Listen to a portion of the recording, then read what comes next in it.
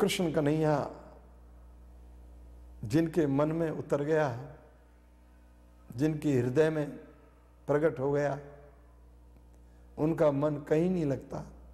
एकमात्र गोविंद के श्री चरण कमलों को छोड़ करके उनको सोते, जागते, उठते, बैठते, चलते, फिरते, नहाते, धोते, रसोई बनाते, झाड़ू मारते दफ्तर जाते सदैव उस हरि का चिंतन बना रहता है। वो बिसरते नहीं। अनन्या चिंतियंतो माम, ये जना पर्युपासते हे अर्जुन, जो जन मुझे अनन्य भक्ति से उपासते भजते हैं, भजन करते हैं, चिंतन मनन करते हैं जप कीर्तन करते हैं, नाचते, गाते हैं, भोग लगाते हैं भगवान को। रसोई बनाते हैं भगवान के लिए। अर्पण करते हैं, यद करोशी यद स्नासी यज्योसी ददासी यद यद तपस्वी कौनते, तद करो अर्पण। हे अर्जुन, ऐसे मेरे भक्तों के योग क्षेम मैं पूरा करता हूँ। योग, यानी उनको मैं मिलता हूँ। जो उनको मिलने की इच्छा हो, वो प्रदान करता हूँ। जिस जगह जाने की इच्छा हो, उस जगह को प्रदान करता हूँ। जो भी उनकी अभिलाषा हो पूरी करता हूँ। जो वस्तु चाहिए, वो वस्तु देता हूँ, मेरे शुद्ध भक्तों को। वो एक बार कहकर तो देखें मैं सब कुछ देता हूँ। मैं अपने आप को दे देता हूँ।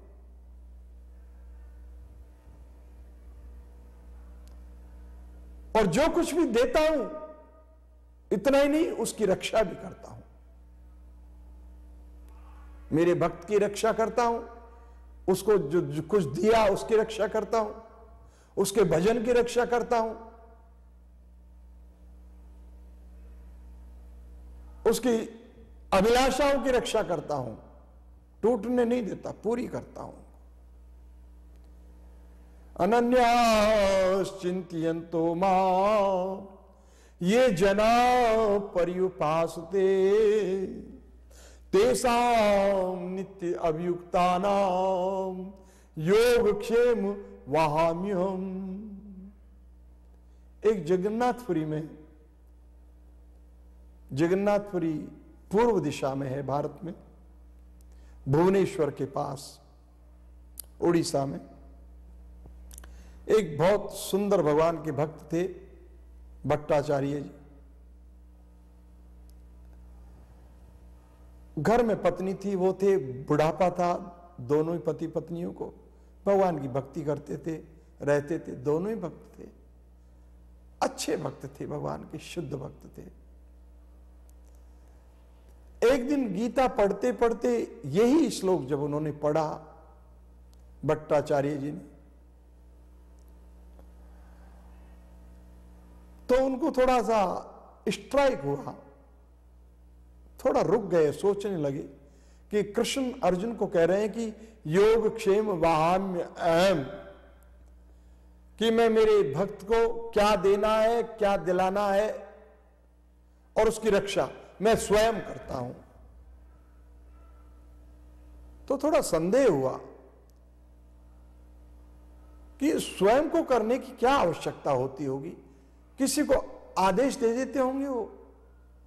किसी को भी कि जा भाई रक्षा कर।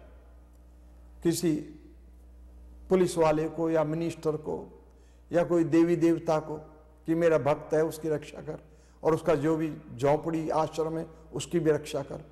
उसके ऊपर कोई आँच न आए। और जो कुछ चाहिए वो मैं स्वयं जाके देता हूँ।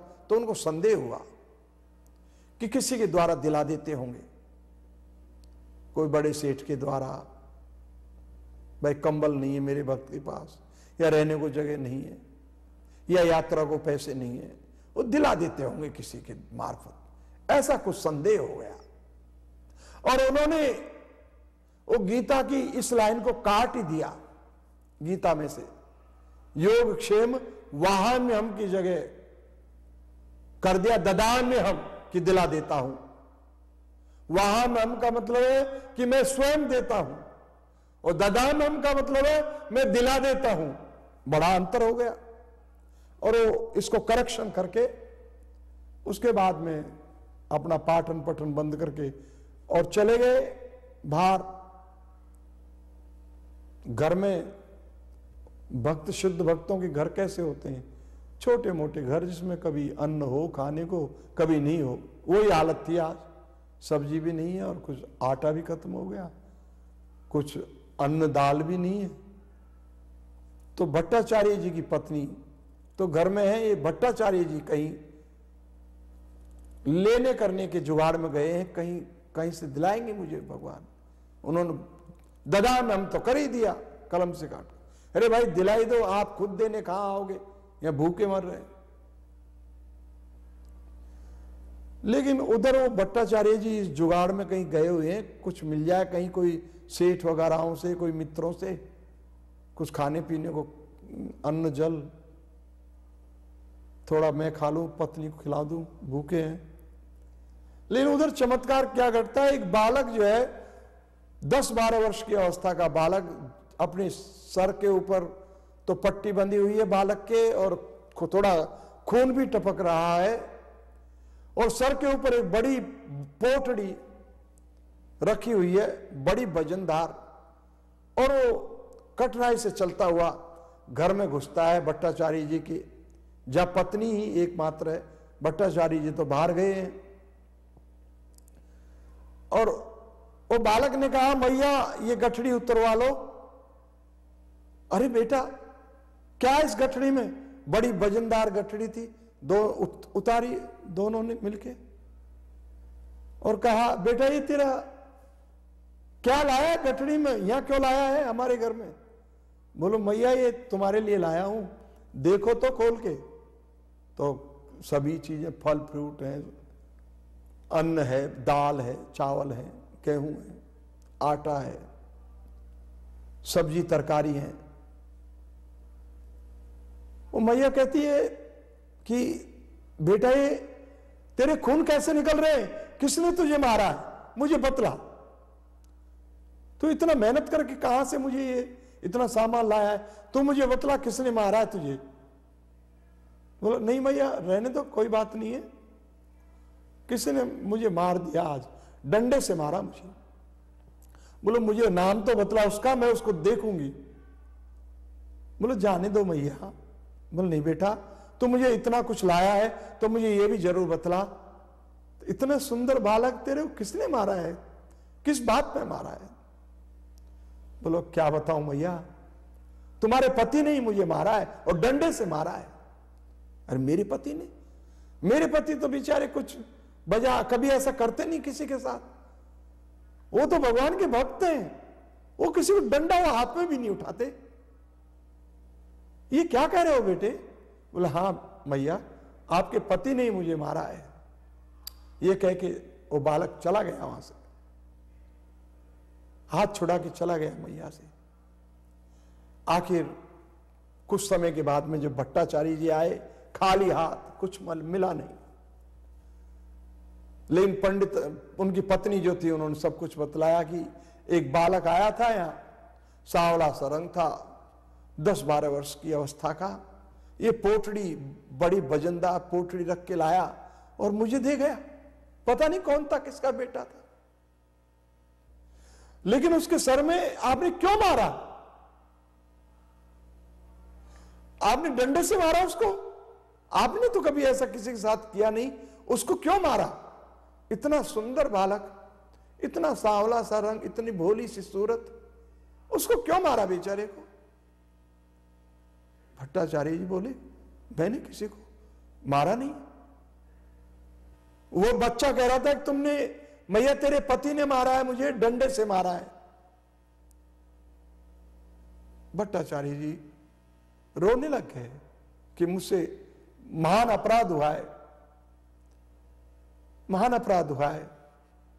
मैंने, मैं समझ गया। वो स्वयं कृष्ण थे। मुझसे अपराध हुआ है।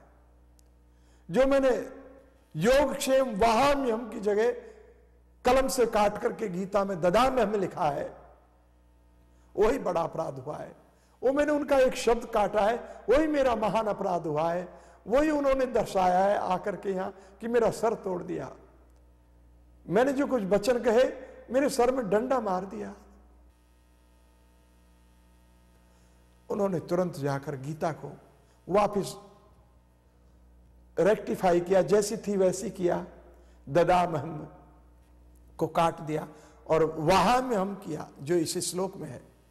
भगवान कहते हैं कि मैं मेरे भक्त को स्वयं जाकर के उसको क्या चाहिए और किससे मिलाना है? मैं स्वयं करता हूँ, उसकी रक्षा मैं स्वयं करता हूँ, किसी से करवाता नहीं, मैं स्वयं करता हूँ। भट्टाचार्य जी खाली हाथ आए, कुछ नहीं मिला। उन्होंने ददा में लिखा तो भी नहीं मिला। लेकिन वहाँ में भगवान का सार्थक हुआ। भगवान ने स्वयं आके दिया कि मेरा ये शुद्ध भक्त है और ये अपनी पत्नी सहित भूखा बैठा है। भगवान की ऐसी लीला है। ये लीलाओं को सत्य जानना चाहिए, मानना चाहिए। भगवान क्या नहीं कर सकते? अनन्याश्चिंतो माम। ये जना पर्युपासते तेसाम नित्य नित्य अभियुक्ता नाम योगक्षेम वाम्यहम ये ये अप्यन्य देवता भक्ता यजंते श्रद्धान्विता।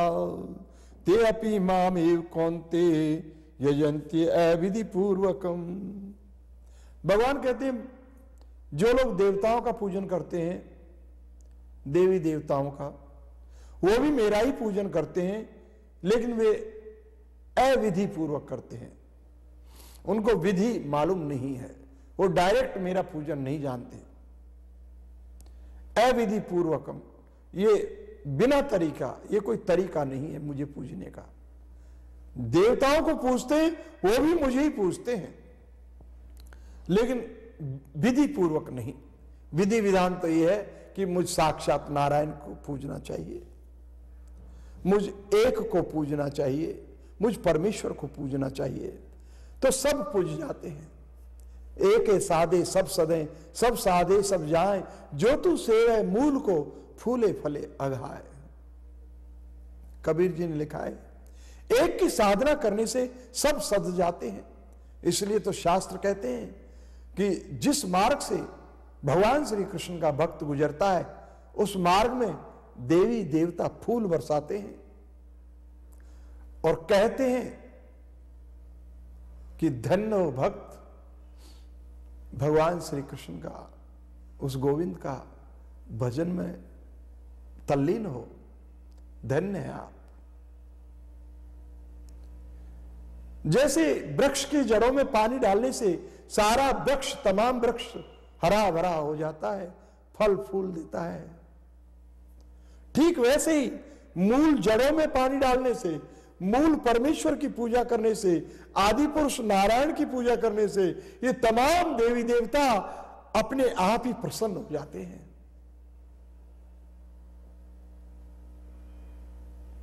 ये सूर्य, अग्नि, चंद्र सब प्रसन्न हो जाते हैं।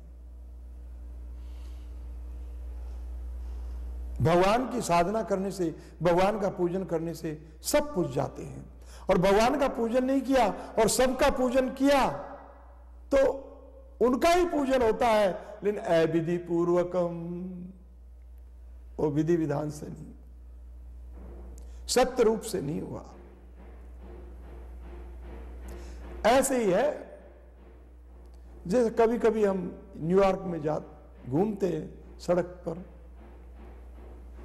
कोई कोई मैं अपनी सुना रहा हूँ।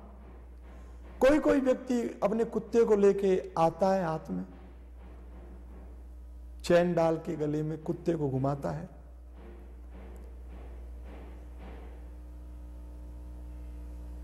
मैं कुत्ते को बोलता हूँ, हेलो, कुत्ता दो मिलाता है, बड़े प्रेम से मुझे देखता है और मेरे ऊपर चढ़ने की कोशिश करता है। लेकिन वो मालिक खुश हो जाता है। मालिक से मेरी जान पहचान भी नहीं है। फिर भी वो भी अपने मुँह से बोलता है, हेलो।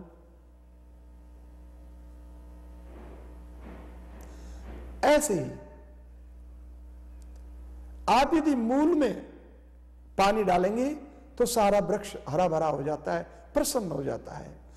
मूल परमेश्वर की साधना करेंगे, पूजन करेंगे, भजन करेंगे, उनको अर्पण करेंगे तो प्रसन्न होने से सब देवी देवता संतुष्ट हो जाते हैं, प्रसन्न हो जाते हैं।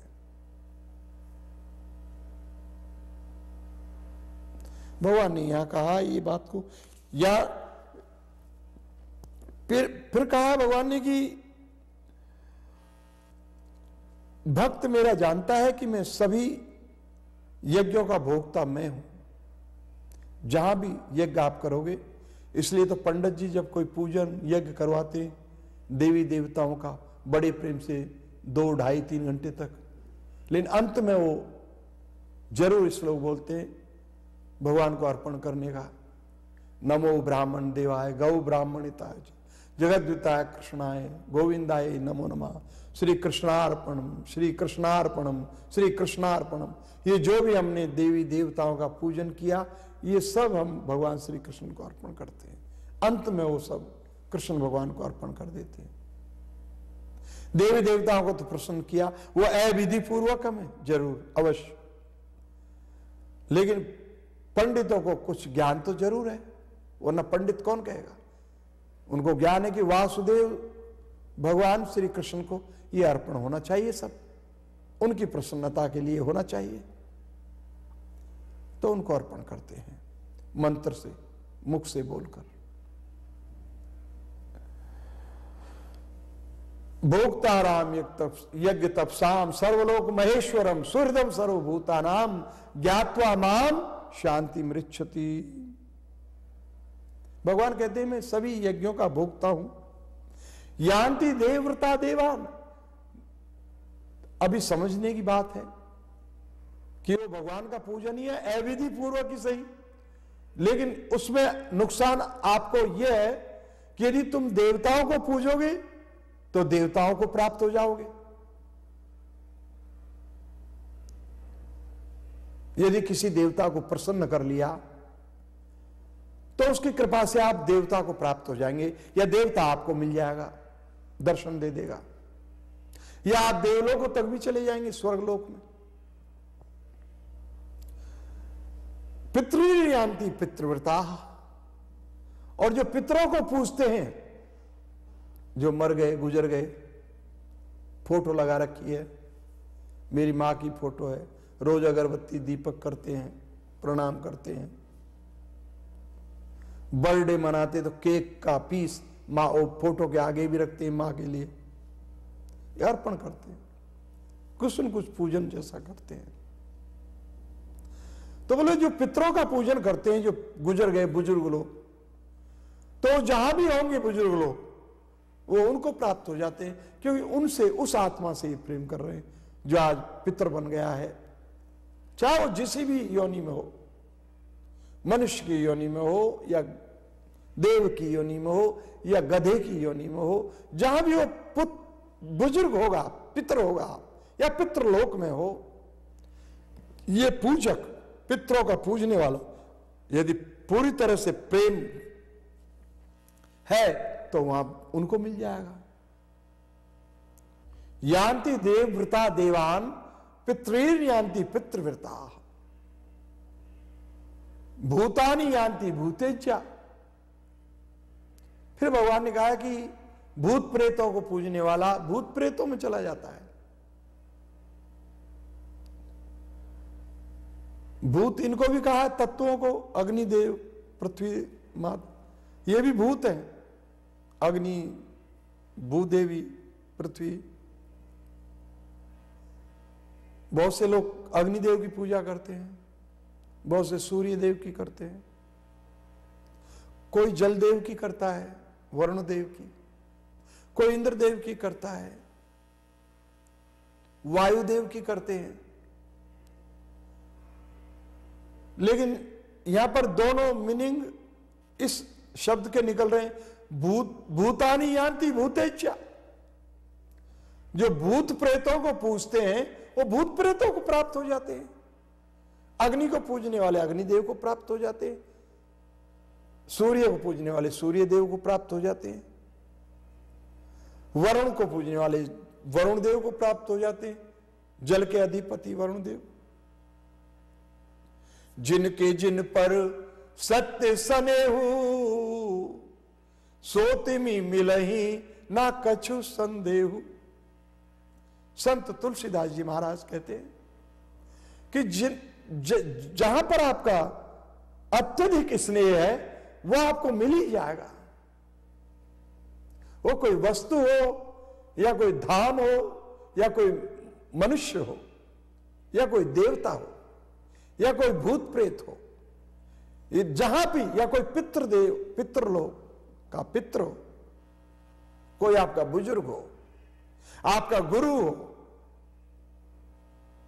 जहाँ भी आपका प्रेम है, स्नेह है, वो आपको अवश्य मिलेगा। जिनके जिन पर सत्य स्नेह सोती में मिले ना कछु संदेह इसमें संदेह थोड़ी है। ये भगवान ने यह कहा है, यान्ति देवृता देवान। पित्रे न्यांति पितृवृता भूतानी यान्ति भूतेज्या। यान्ति मध्या जिनो अपिमाम और हे अर्जुन, मेरे भक्त मुझे प्राप्त हो जाते हैं, मेरे पास आ जाते हैं। मेरे भक्त मुझे प्राप्त हो जाते हैं। यह समझने की बात है। तो फिर देवी देवताओं को पूजो। उनको मिल जाओगे आप। कृष्ण को नहीं मिलने वाले। कृष्ण को तो कृष्ण का प्रेम ही मिलेगा। कैसे आप कृष्ण को मिलोगे? आप तो देवी देवताओं को पूज रहे हो। दुर्गा के प्रेमी दुर्गा जी को मिलते हैं, इंद्र के प्रेमी इंद्र जी को मिलते हैं, सूर्य के प्रेमी सूर्य को मिलते हैं, भूतों के प्रेमी भूतों को मिलते हैं, प्रेतों को मिलते हैं।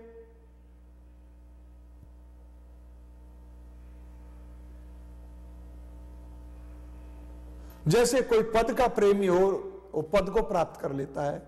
ऐसी ये हालत है। जहाँ आपका प्रेम है, जिस चीज़ से प्रेम है, वो आपको प्राप्त हो जाती है। अरे गहराई में जाओ तो आपने जो भी सच्चे रूप से स्ट्रांग डिज़ायर है, वो आपकी पूर्ण हो जाती है। सच्चे हृदय से जो आपकी इच्छा है, वो पूर्ण हो जाती है। तो आपकी सच्चे हृदय से कोई देवता को प्राप्त करने की इच्छा है तो पूर्ण हो जाती है। रास्ते पर तो जाना पड़ता है। कन्हैया कहता है कि जो मेरे भक्त हैं, मेरे प्रेमी हैं, वो मुझे प्राप्त हो जाते हैं। कमोदनी जल हरि बसे। कमोदनी जल हरि बसे, चंदा बसे आकाश। जो जाही के भावता, सोता ही के पास। कमोदनी कहते हैं, कमलनी को। कमल और कमलनी। फीमेल कमल। कहते हैं फीमेल कमल चंद्रमा को देख करके खिलता है। और मेल कमल सूर्य को देख के खिलता है सुबह। कमोदनी रात में खिलती है। कमोदनी जल, हरी बस है। बोले, जल के अंदर एक कमोदनी रहती है और चंद्रमा इतनी मील दूर है, साढ़े तीन लाख मील दूर है वैज्ञानिक कहते हैं। लेकिन जो जाए के भाव था, सोता है के पास लेकिन वो जब तक चंद्रमा नहीं दिखाई दे, ये कमल नहीं खिलती नहीं। दिखाई दे, कमल भी नहीं खिलता।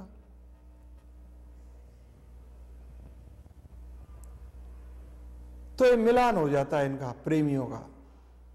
जिनके जिन पर सत्य सनेह सोती में मिले ही ना कछु संदेह। यान्ति देवृता देवा, पितृ यान्ति पितृवृता, भूतानी यान्ति भूतेज्या, यान्ति मध्या जिनो अपीमाम मेरे भक्त हे अर्जुन, मुझे प्राप्त हो जाते हैं, मेरे पास आ जाते हैं। पत्रम पुष्पम फलम तोयम यो मे भक्त्या प्रयच्छति। तदम भक्ति उपहृतम अश्नामी प्रियतात्मना। पिछली कथा में कहा था, भगवान कहते हैं कि प्रेम से कोई प्रेमी मुझे कुछ भी अर्पण करता है, छोटी से छोटी वस्तु उसे मैं कोई तुलसी का पत्ता अर्पण करता है, मैं ग्रहण करता हूँ। कोई कोई फल अर्पण करता है, मैं खा लेता हूँ। कोई जल अर्पण करता है, मैं खा लेता हूँ, पी लेता हूँ। कोई पुष्प देता है, मैं तुरंत ले लेता हूँ और सूंघता हूँ कि मेरे किसी प्रेमी ने ये दिया है। पत्रम पुष्पम फलम तोयम यो मे भक्त्या प्रयच्छति। तदहम भक्ति उपरता अशनामी प्रियतात्मना। हे अर्जुन, मेरे प्रिय भक्त के हाथों से जो भी मुझे मिलता है, वो मुझे स्वीकार है। मैं उसको ग्रहण करता हूँ। कोई मालपुए बना के अर्पण करता है, खा लेता हूँ। कोई खीर बना के अर्पण करता है, खा लेता हूँ। कोई बाजरा ज्वार के टिक्कड़ सेक कर मुझे अर्पण करता है, मैं खा लेता हूँ। कोई इडली, डोसा सांबर उत्तप्पा, उपमा इत्यादि अर्पण करे, मैं खा लेता हूँ। भक्त हो मेरा और प्रेम से अर्पण किया हो मुझे मुझे मेरा प्रेम से आह्वान किया हो। कहीं भी किया हो, आकाश में, पाताल में, कहीं भी, स्वर्ग में, मृत में बैकुंठ में, जहाँ पर भी उसने मेरे को याद करके अर्पण किया है, मैं ले लेता हूँ, खा लेता हूँ। अशनंती प्रियतात्मना मैं प्रिय आत्माओं, मेरे प्रिय भक्तों के हाथ से खा लेता हूँ, स्वीकार करता हूँ। यदि भगवान स्वीकार कर लेते हैं, आपका अर्पण किया हुआ, या खा लेते हैं तो आपसे बड़ा कोई भाग्यशाली नहीं है। आप ज़रूर भगवान के शुद्ध भक्त हैं। ये ज़रूर मान के चलिए। जय।